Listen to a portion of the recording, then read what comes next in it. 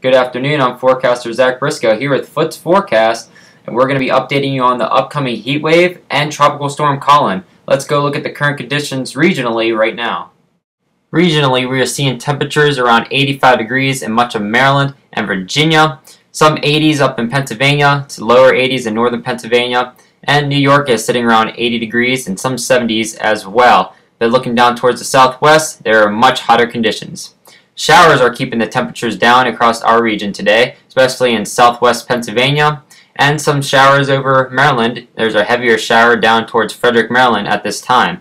But heat is going to be the real story that's going to be coming up. Now the heat coming up tomorrow into Wednesday is nothing going to be compared to next week if the models are correct. Tomorrow we should rise into the upper 80s in northern Pennsylvania to in Maryland near the upper 90s, especially into Wednesday.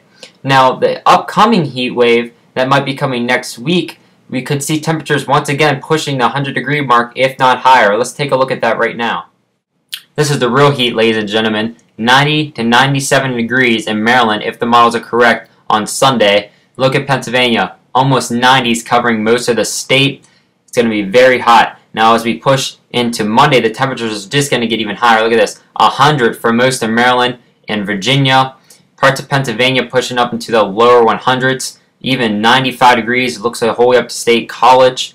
It's very hot. Johnstown even maybe hitting 91, 92 degrees.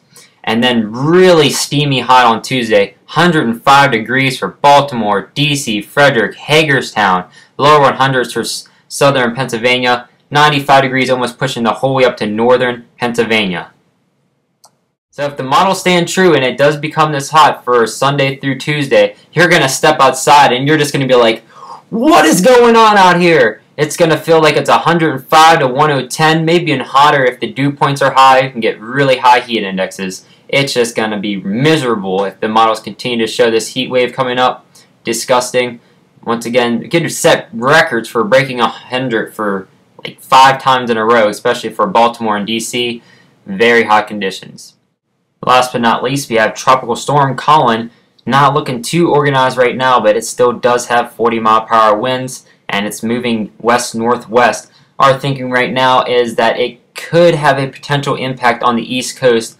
We're going to go with a 60% chance of it making a landfall somewhere around North Carolina up through uh, Delaware. And there's still a 40% chance that it's probably going to curve back out to sea. It's going to keep going back and forth, especially while the models are changing.